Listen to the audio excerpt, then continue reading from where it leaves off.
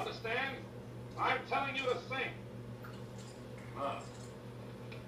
Sing. Take it easy, Paul. He's right in front of him. Birds of a feather, eh? Well, you know what's good for you, Martin. Frightening, you'll keep your snoot out of this. Don't concern yourself, please. I'm leaving.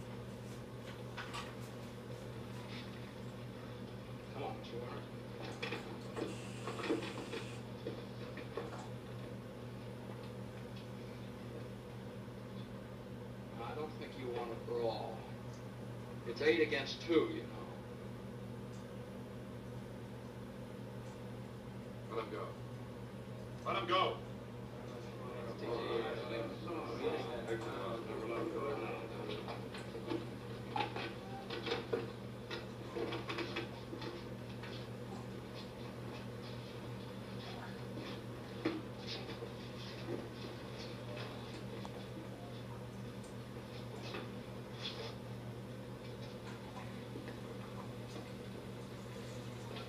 I'm sorry you did that, my boy. It might get you into trouble. Don't worry about me. I'll take care of myself. Want me to go along with you? No, no, please. I'll be all right. Thank you, Martin. All right. Thank you very much.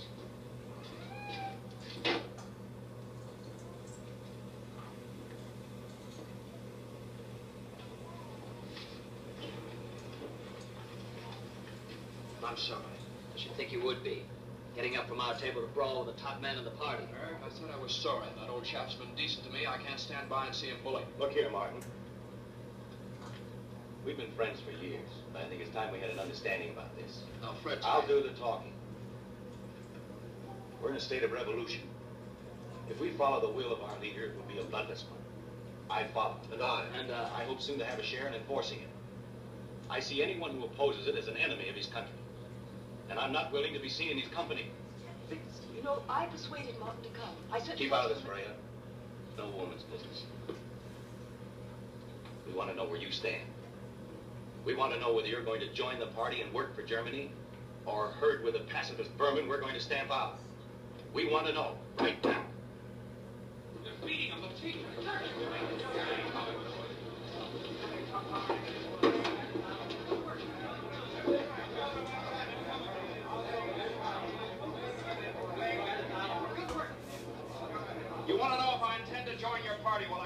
now, the answer is no.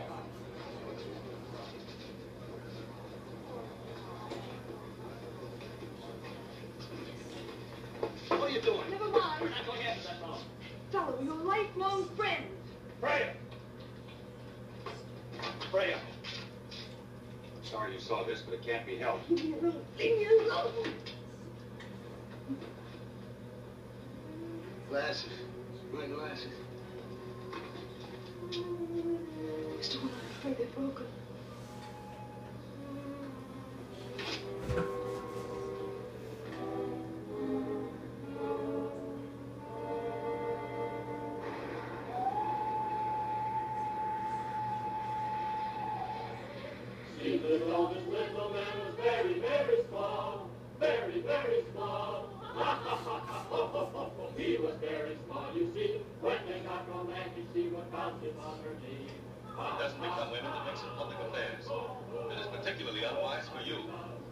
Nonsense. I picked up an old man's hat. Listen to me, Freya.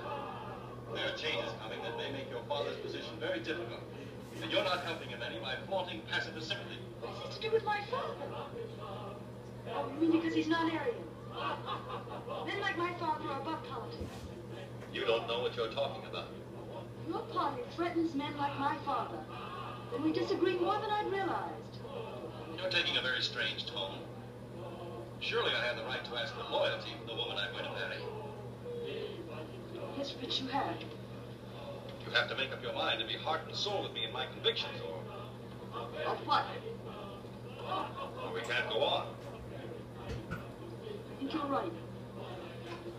I don't think I shall ever be heart and soul with your convictions. I'm not going to argue with you about it. Women don't know anything about politics. Let's forget it. If I was rude, I'm sorry. But you know these things are awfully important to me. But you needn't bother your head about them.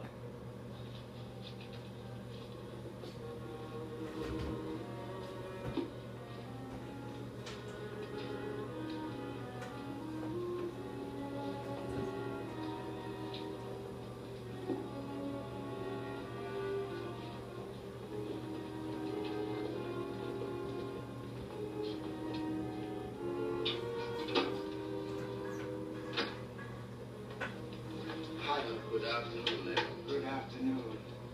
There, there's a new order. I should say Heil Hitler, but I won't. Not to you. Thank you, Lenin. That is unless some of the other gentlemen are present, or the students. Yes, I shall understand. Hey, Hitler. Uh, Heil Hitler.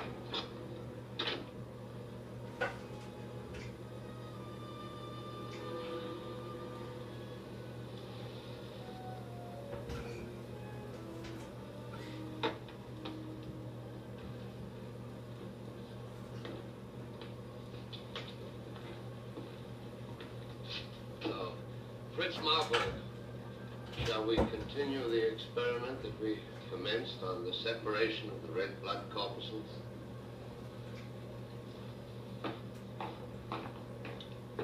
Then you can help me with the centrifuge later.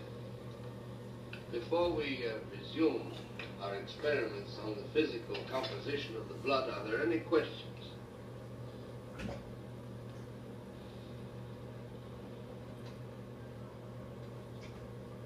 Well,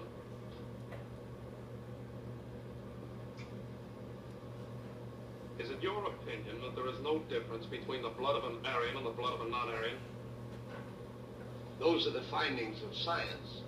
Until now, physiology has been unable to discover any difference in the blood of the various races.